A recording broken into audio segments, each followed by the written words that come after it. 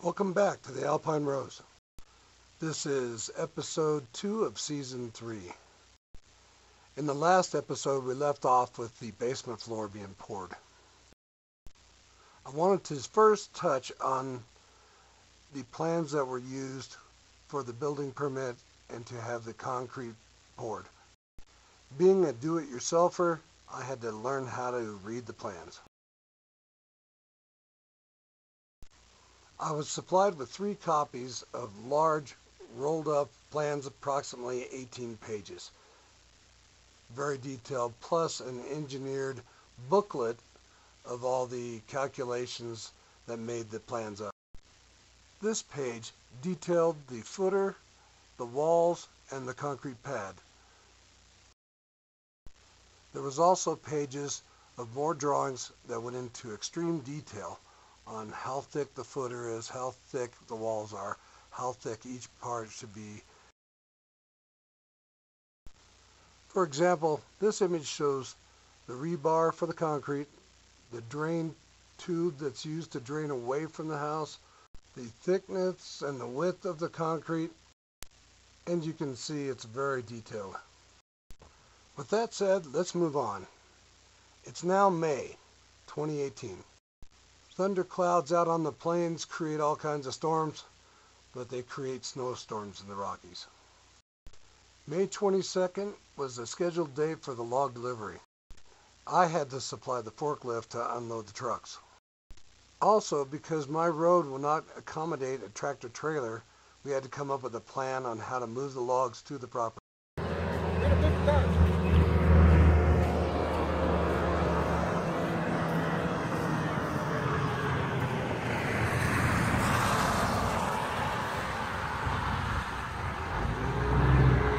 And here comes a truck. How exciting, Tracy! Oh wow, look at the wet logs!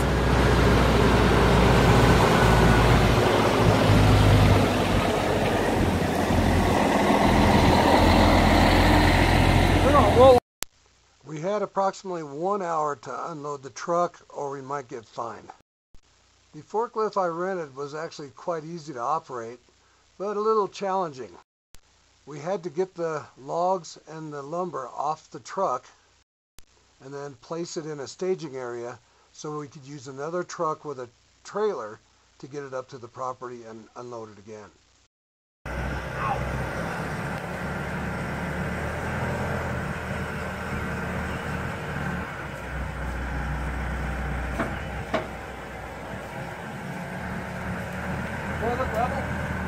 Yep.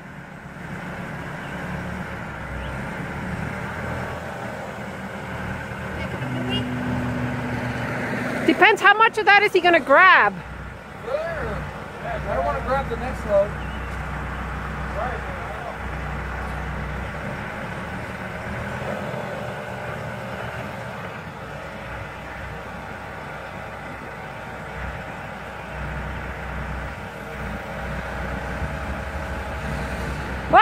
oh shit. Sorry. Wait.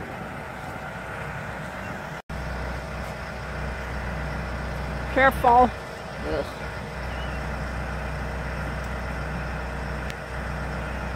Can I set it back down? It'll go out. Back up.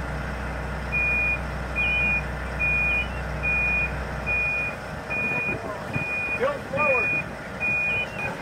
Stand back.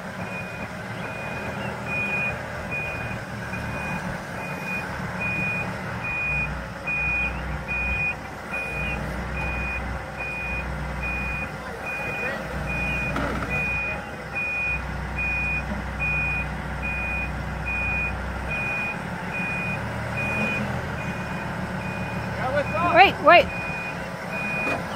Oh man, that looks crooked. Back.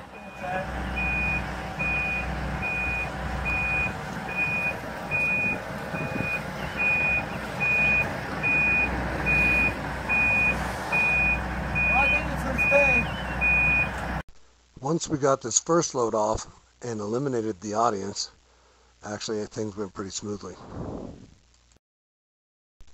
with one minor exception.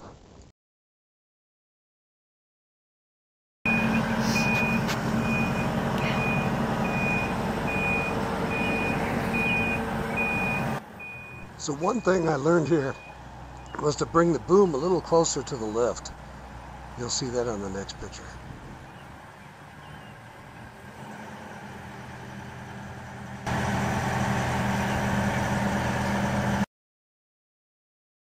This was actually the heaviest load that was on the truck and because I didn't have the boom in when I started to lower it down, it tipped me. It actually went fairly slow. It felt like slow motion.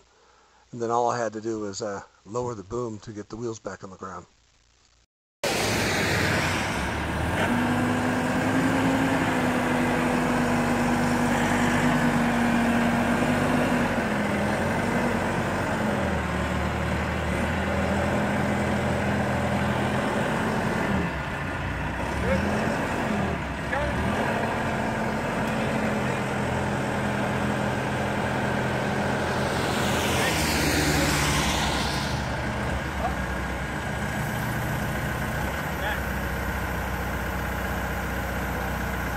You'll be okay though. Just go slow.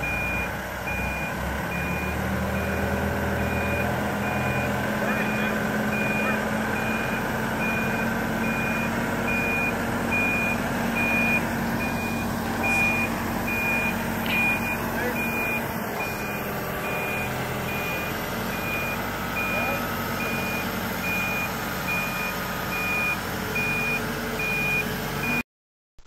There's always a little bit of a learning curve on any new piece of equipment that you rent. So once I got the hang of it, it was actually quite easy. Of course, now the weather was starting to change. We were getting a light rain and the temperature was starting to drop. So once we had the tractor trailer unloaded, we had to start transferring stuff to a smaller trailer to get it up to the property.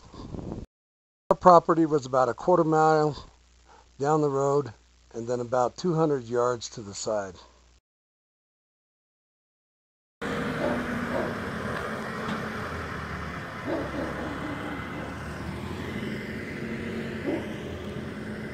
Say hey. This one here, that one there, and then the logs on the top. And it's starting to snow. All the way up. Yeah. We are on our second to last load. Thank God. What a mess. That's what's left. Because we had to offload the tractor trailer and then reload it, everything onto a flatbed to get it up to the property, this really took a long time. Totally, it probably took six and a half to seven hours and didn't want to stop for lunch until after we were done. Look at the snow coming down. Yuck. So the second load was due to come in about a week and a half, and I knew I wouldn't be able to really move these out of the way. So I really had to pack and stack neatly so I could get to them. So the second load of logs arrived about two weeks later. We had a lot better weather for this one, and I had a beefier forklift. Still had a learning curve, but went a lot smoother this time. We knew exactly what to expect, and it took another 10 trips or so to get everything up to the property. By this time, I was running out of places to put logs.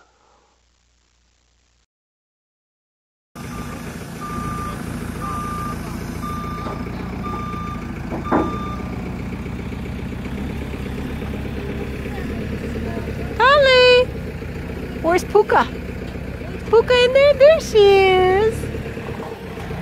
Last load. Got here at 8.15 a.m.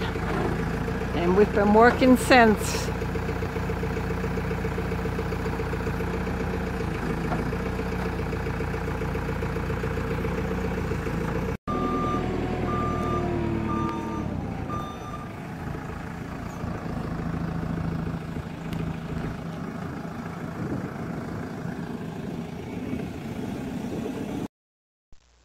Finally got all the stacks put away where I wanted it. I was able to stack all the short logs in the same area, all the long logs in the same area, and then all the dimensional lumber in the same group. So one issue we had is all the paperwork, all the glues all the small hardware was on the first truck and it was in the bin underneath the bed, and the driver didn't know that. So all those items arrived on the second truck. Also, the pick list from the lumberyard that cut the logs that explained what stack was what. Once I had all the logs and all the paperwork, then I realized that the delivery did not include the 2x8s required to finish the basement stud walls. But at least I had all the information so I could get started. Stay tuned for episode 3. Thank you for watching.